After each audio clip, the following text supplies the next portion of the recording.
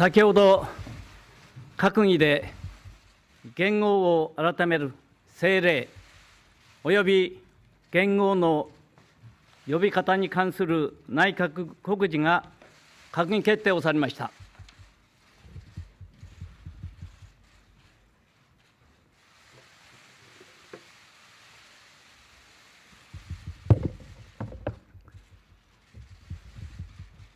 新しい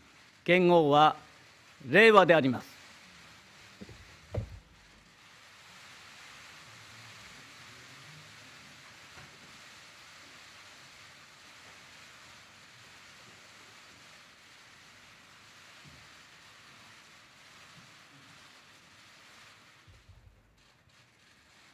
それでは内閣記者会幹事社から代表で2問まで質問をお受けします。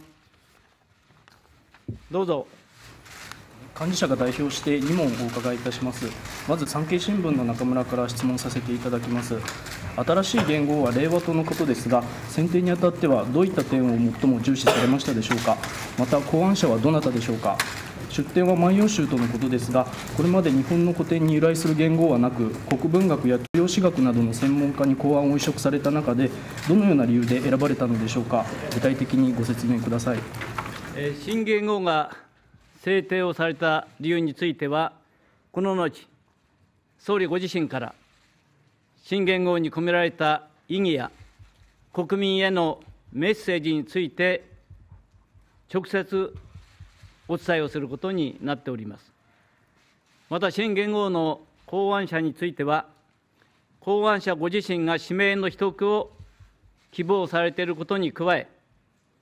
考案者を明らかにすれば、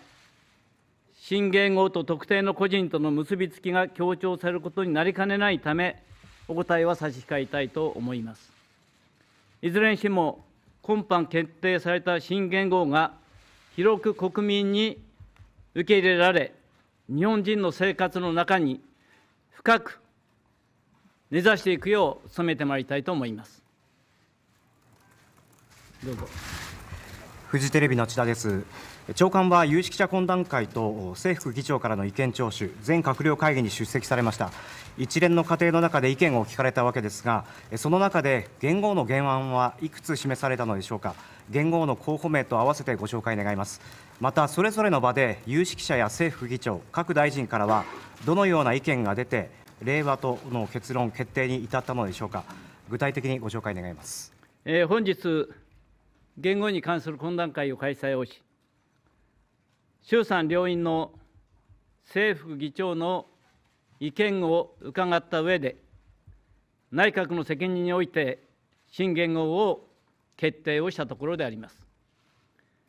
新元号が選定をされた理由につきましては、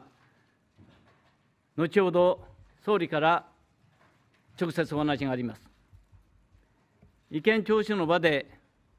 どんなご意見があったかについてお答えすることは差し控えたいと思います。